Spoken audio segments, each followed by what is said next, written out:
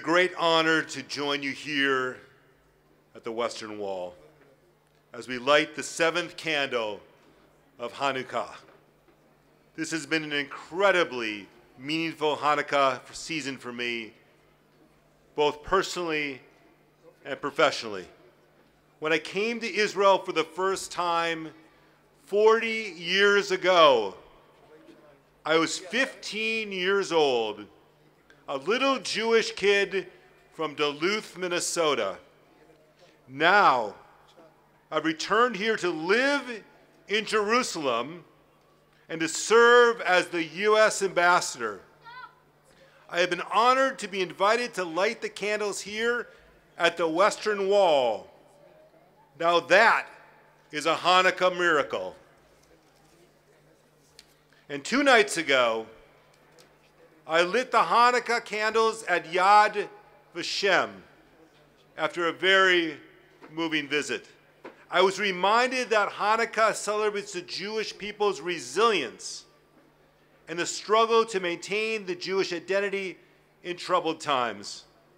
Unfortunately, in many places around the world, Jews face old and new forms of hatred, anti Semitism, bigotry, as well as denial and distortion of the Holocaust.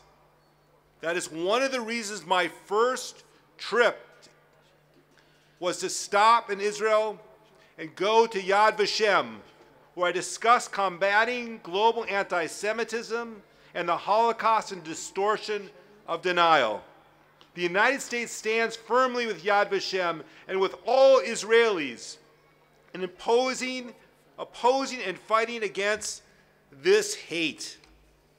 Yesterday, before the lighting of the sixth candle, I visited Ein HaShofet, the kibbutz where I worked as that 15 year old kid.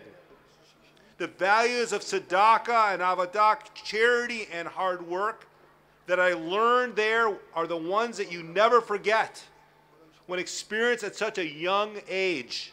And that trip shaped the part of my Jewish identity. Tonight, it's very fitting that we light the seventh candle together. I won't tell you how important that number is to us Jews, it's signifying the completion and perfection. I'm sure you have a whole sermon on that, Rabbi, for me. But for me, the honor is really being here at the Kotel, at the foot of every site of the Hanukkah miracle. And tomorrow, I will have the honor of lighting the final candle, the eighth Hanukkah candle, with President Herzog after I present my credentials.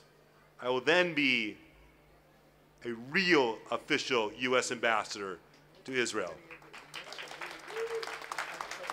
So I will light that candle in honor of all the American Jews who celebrate Hanukkah in a wide diversity of ways. And in the end, Hanukkah is not just about remembering the miracles of the past, but bringing and brightening the future. As, ha- as the Hanukkah song goes, we come to banish the darkness. Let us band together this evening as we shine a bright light on the Kotel for all of us to see. Thank you and happy Hanukkah.